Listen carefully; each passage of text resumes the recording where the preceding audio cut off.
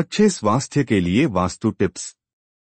सुनिश्चित करें कि आप अच्छी नींद के लिए दक्षिण दिशा में सिर करके सोएँ। घर के मध्य भाग को हमेशा खाली या बहुत हल्के फर्नीचर के साथ छोड़ देना चाहिए। यह बिना किसी प्रतिबंध के ऊर्जा का मुक्त प्रवाह सुनिश्चित करता है। अग्नि तत्व के असंतुलन से घर में रोग होता है। तो इसे संतुलित करने के लिए मोमबत्ती, दिया या चिमनी जैसे अग्नि तत्व के लिए। सबसे अच्छी जगह घर की दक्षिण पूर्व या उत्तर पश्चिम दिशा है। बिस्तर के विपरीत शीशे लगाने से बचें।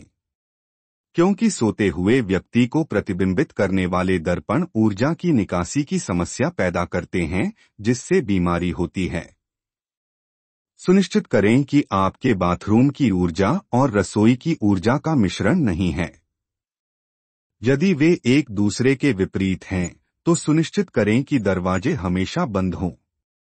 अगर घर में कोई अस्वस्थ है तो कमरे में जलती हुई मोमबत्ती रखने से उन्हें जल्दी ठीक होने में मदद मिलेगी। अच्छी सेहत के लिए पानी पीते समय अपना मुँह उत्तर पूर्व या पूर्व की ओर रखें।